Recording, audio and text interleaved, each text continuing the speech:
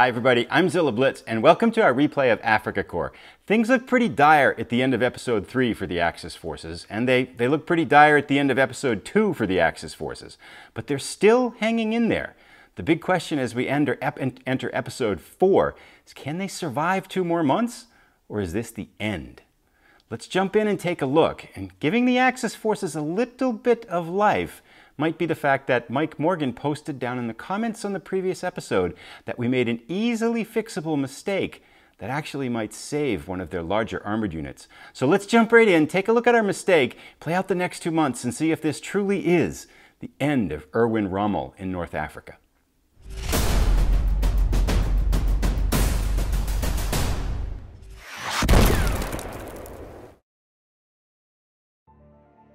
One thing to consider before we start out, just to kind of paint a picture of how hopeless the German situation quite is, to understand that we're fighting, where we're going to be showing the action today is down here in this bottom left-hand corner of the map.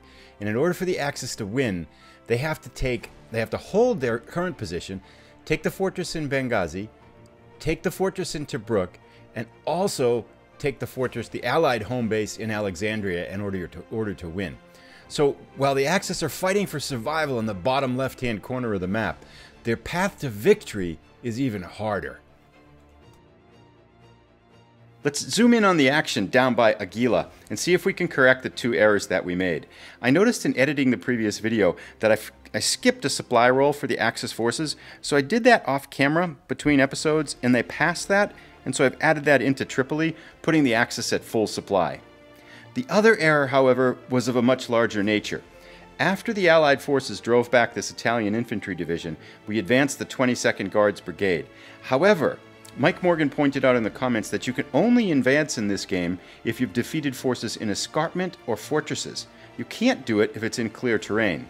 Not sure quite why, it doesn't seem to make sense to me, but it's an easily fixable error, and so if we can have an easily fixable error, we're going to take advantage of it. So we're going to move this unit back, which gives us the correct position for the end of the last episode. That is really important because that means that this armored unit is no longer out of supply and the Axis forces can rescue it. So with that mind, with that being said, let's jump in and get started with October of 1941. Let's do our turn 13, October 1941 first event here. See what happens now. All is calm, no special effects this turn. This would have been a good time for the Axis uh, to, they would have actually benefited from some sort of inclement weather that might have impacted attack, but that is not to be, so let's drive on. As we start out in October of 1941, it's important to remember that the Axis have significant reinforcements coming in in the beginning of November. So their goal really is to survive these next two, this next month, so that they can get those reinforcements in. Now the Allies have reinforcements coming in in November as well. They're actually more and uh, more reinforcements and more powerful than the Axis ones, but they're going to have to commit it Tobruk, which means they're probably a month of travel away before they reach the front lines here. So with that being said, the goal for the Axis forces is survive October, hope for November's reinforcements to turn the tide a little bit.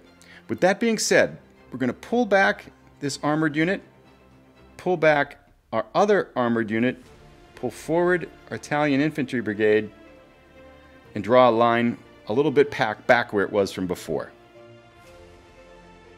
The Allied forces, still following the mandate of Winston Churchill, are going to continue to press the attack.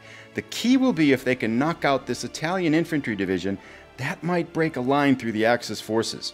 They haven't had luck doing that so far, but they're going to try again as we roll into the beginning of October. The Allied forces again advance. They're going to perform three straightforward attacks. These three one-powered infantry brigades are going to attack the armor at 1 to 3 odds. Likewise, a similar attack to the south. And then the concentration of their forces, the armored units here, and two infantry brigades for a total of 8 are going to attack this Italian infantry division at a defense of 2, giving them 4 to 1 odds. They're going to start with this attack. A defender eliminated result would help the Allies tremendously. 2. Exchange. That's not bad for the Allies either. The exchange sees this Italian infantry division eliminated. It also sees we can remove these, uh, let's take this one here, this infantry brigade for the British, leaving a gap in the German forces. Next, we'll do the 3 against 7 attack, 1 against 3. So far, the Allies have had incredible luck with these soak-off attacks. Let's see what happens with this one. 6. Attacker eliminated. The Allies' luck changes. It's a tough result for the Allies. These three infantry brigades are eliminated. Let's do the 3 against 7, 1 against 3 attack to the south. 3. Attacker back 2. A better result for the Allies this time. The Axis push back these three infantry brigades. Supply unit is consumed. The first half of October 1941 comes to an end. The Axis suffer losses. The Allies take some heavy casualties as well. Let's draw our event for the back half of 1941. Moderate sandstorms. All movement this turn is reduced by 3, and each attack suffers a minus 2 reduction to its total attack total. This could hamper the Allies' efforts. The Axis are at full supply, so once again we don't make a supply roll. The question is whether we want to consider attacking these British forces here, but the best the Axis can get is a 2 to 1 attack. So with that in mind, 2 to 1 attacks aren't necessarily a good choice for the Axis right now. We're going to have them push back, push back, and move their line back just a little bit. Also, because they don't need this infantry unit in Tripoli for supply rolls, they're going to move this infantry unit forward, fill that hole that they lost in the last turn. For the Allied forces, the sandstorms tilt the odds in the Axis' favor. Makes no sense for the Allies to attack this turn, it would be suicide. Instead, they're going to drop their defensive lines. With Axis reinforcements on the way, the Allies shift their defenses to make this defensive position along the coast a little bit stronger. The Axis have made it to November of 1941. Their reinforcements are on the way. Let's start the month with an event. Coastal turbulence. Supply units are delayed one turn, so each side will have two possible supply units next turn. If this follows expedited shipping, there is no effect. This is actually good for both sides, as both sides are at full supply, so they'll be able to, for the Axis forces, they'll be able to check twice to see if they could resupply in next turn. The Axis are in full supply and have reinforcements arriving at Tripoli that they can use on this turn. Given this, and given the fact that British reinforcements will be storming westward as well, it's imperative that if the Axis to have any chance, they've got to do some damage in this next month. The Axis will launch an attack. The Axis are going to concentrate their attack on the British positions on the north end of their line, taking two armored reg regiments and the infantry division combined with another Italian infantry division to get 18 to 6 or 3 to 1 odds against this stack. To balance that attack out, they've got reinforcements, infantry and infantry attacking 5 against 4 on this stack here as a soak-off. We'll start with a 3 to 1 attack first. A good result here could actually give the Axis hope of breaking out. 5. Exchange. That's not a positive result for the Axis. The Allied forces are wiped out.